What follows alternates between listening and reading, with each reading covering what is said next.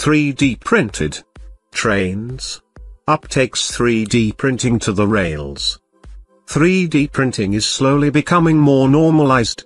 Dog wheelchairs, talk of colonizing Mars by printing resources and of course, tons and tons of prototyping, it's safe to say that additive manufacturing is here to stay. And now, even the Industrial Revolution standby, the trusty old iron horse is getting its 21st century update.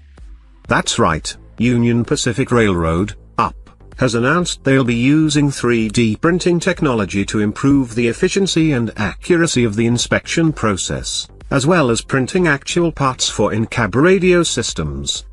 Here's what's new.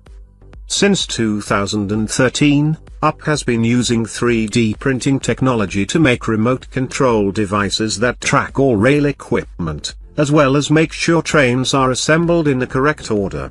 The device, built for efficiency, contains a radio transponder that features critical information about each car. Four years later, they've built upon this critical technology. The company's Omaha headquarters are currently home to a Stratasys Connex350, a piece of equipment critical to the Machine Vision project, a train-size portal filled with inspection sensors, cameras and lasers.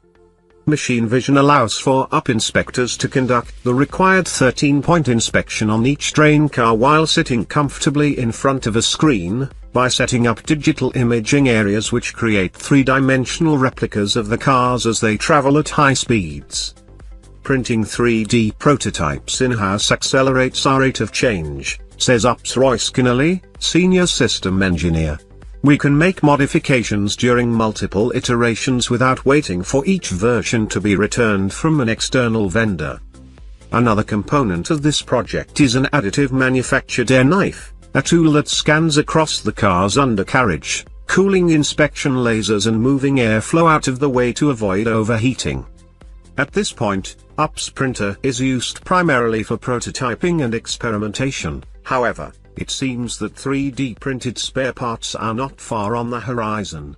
German railroad company, Deutsche Bahn has some additive projects in the works, and it's only a matter of time before UP and the like start implementing the 3D printed nuts and bolts we've long been waiting for.